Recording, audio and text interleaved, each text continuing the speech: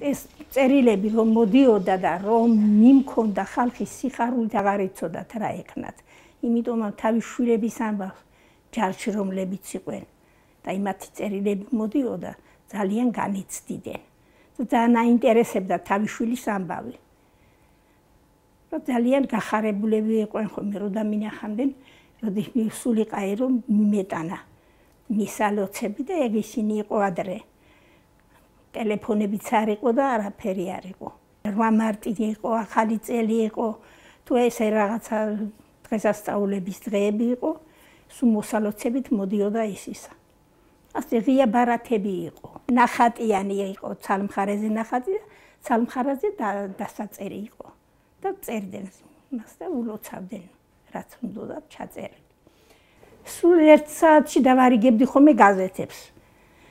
ყუთები იყო, ზოგს პოსტის ყუთი ქონდა ჩამოყიდული, ზოგსა უვალნიკი ქონდა. იმაში ჩავდებდი ხო.